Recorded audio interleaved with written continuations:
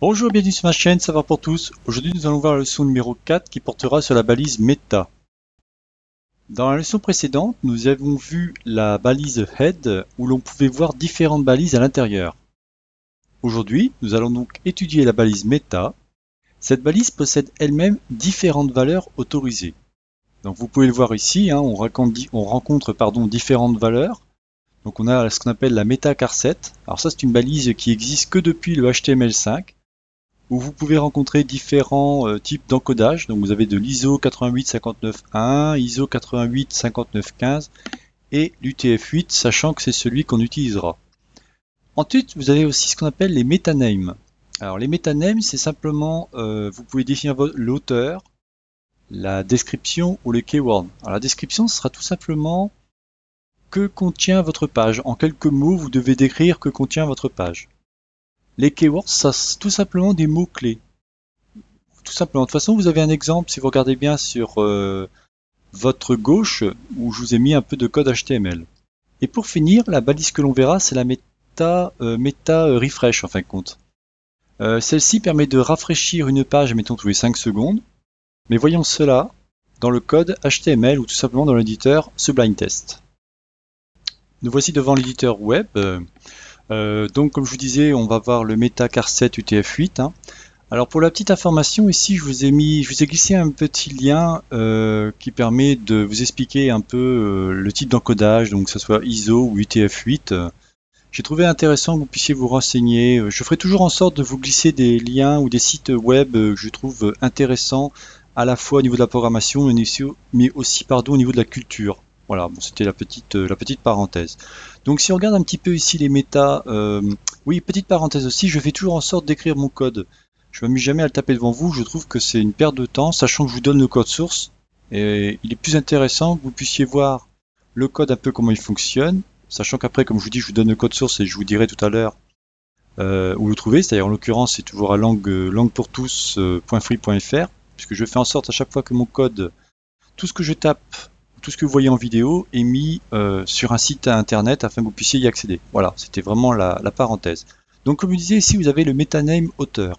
Très souvent, c'est le nom de la personne qui a créé le site web. Donc vous verrez par exemple, euh, si vous allez sur mes sites euh, Savoir pour tous ou japonaispourtous.free.fr, à chaque fois vous regardez, vous verrez mon nom apparaître. Mais bon, c'est pas le problème, c'est si vous faites votre page web, vous pourrez mettre le vôtre.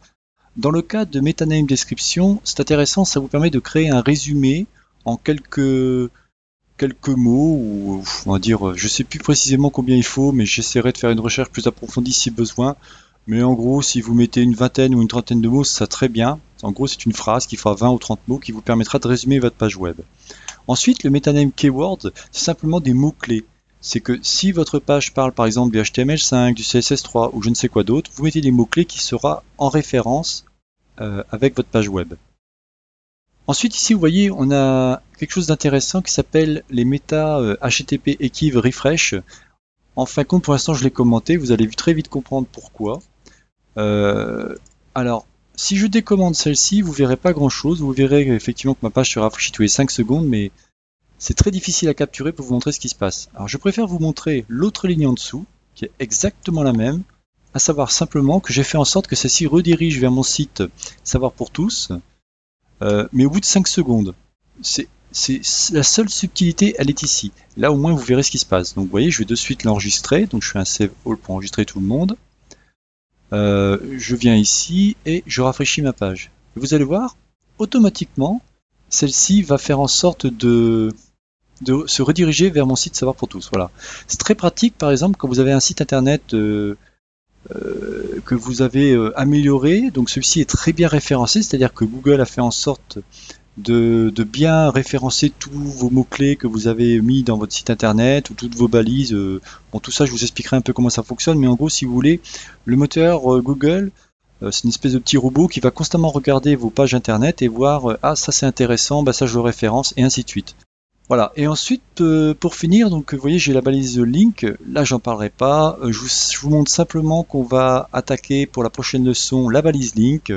Et en l'occurrence, on verra enfin le CSS. Et oui, je sais, euh, le Saint Graal arrive. Pour ceux qui étaient, qui ont suivi mes, vidéos sur l'HTML4 doivent se dire enfin, on, on va approcher le CSS.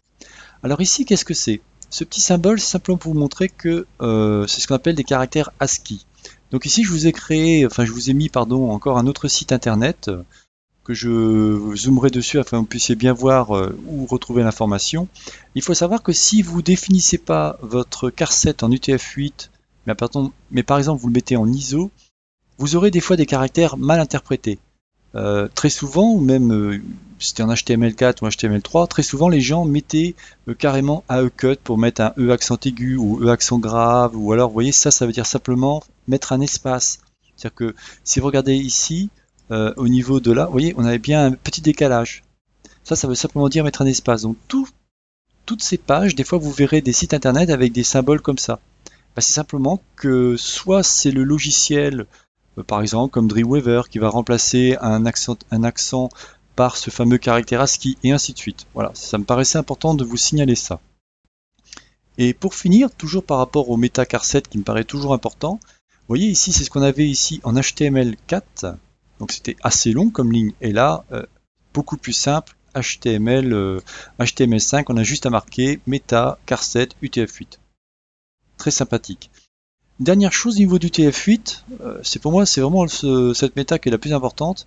Euh, l'intérêt de mettre UTF-8, c'est que vous pouvez écrire en russe, vous pouvez écrire en arabe, en japonais, euh, en ce que vous voulez, il n'y aura aucun problème, sous réserve bien sûr que vous ayez tout ce qu'il faut pour écrire dans ces différentes langues, lui il le comprendra. UTF-8 c'est vraiment le l'encodage par excellence on va dire. Hein. Voilà, bon bah écoutez, je n'en dirai pas plus sur la balise méta. C'était donc euh, la chaîne Savoir pour tous, réalisée par Jean-Michel. La prochaine vidéo portera sur la balise euh, Link, comme vous pouvez le voir ici. C'est pareil, je vous glisserai donc un lien ainsi que peut-être une petite photo pour vous montrer où récupérer le code source de ce que je vous ai tapé. Il n'y a pas grand chose pour l'instant, mais j'aime bien euh, que vous puissiez suivre à l'identique tout ce que je vous ai expliqué dans ma vidéo. Voilà, je vous souhaite une bonne journée, je vous dis à la prochaine. Bye bye.